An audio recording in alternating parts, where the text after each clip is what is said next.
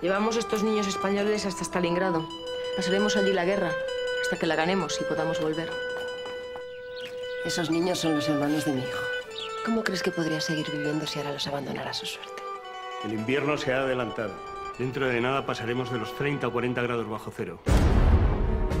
Los alemanes os van a dejar morir de hambre y de frío. No van a tener piedad.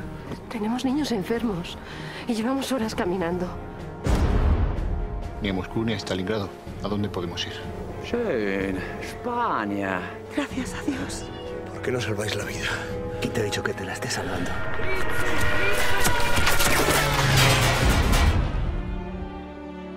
Dicen que lleva semanas enseñándoles el catecismo y el rosario. ¿Quién la conocía en España? Aquí somos intrusos todos. ¿Dónde está mi hijo? Nadie me lo quiere decir. Yo sé que escondes algo. Con tu ayuda o sin ella, lo voy a averiguar. ¿Estás segura? Te has vuelto una de ellos. Tengo tanto derecho como tú a estar aquí y a llamarme española. ¡Corred!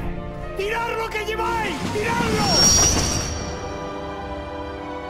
Solo he querido un hombre. Fue la mayor equivocación de mi vida. Tú te podrías librar de todo esto. ¿Me echas de tu lado? ¡Expanse! Cuanto antes la olvides, mejor para todos. Hispansi.